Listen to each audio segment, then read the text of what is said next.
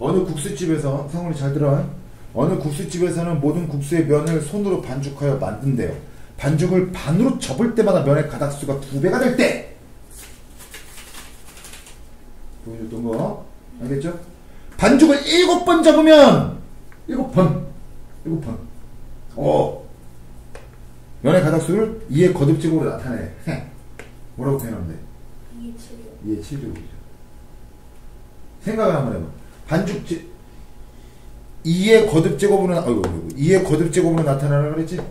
그치? 맞지? 어휴. 두께 하나를 뭐라고 적으면 1이라고 적으면 되겠지.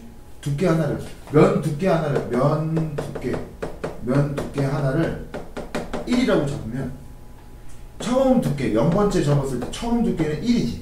네. 근데 첫 번째 접었을 때는 1 곱하기 2지. 맞아, 안 맞아?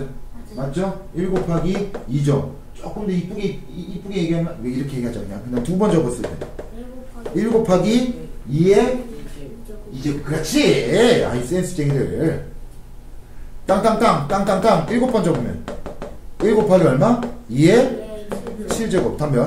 2에 7제곱. 이렇게 쓰면 돼. 1과 왜? 1과 어떤 숫자를 곱하든 그 자기 자신만 나오니까. 무슨 말인지 이해 가나? 가요. 어, 이런 느낌 살려서 해보자.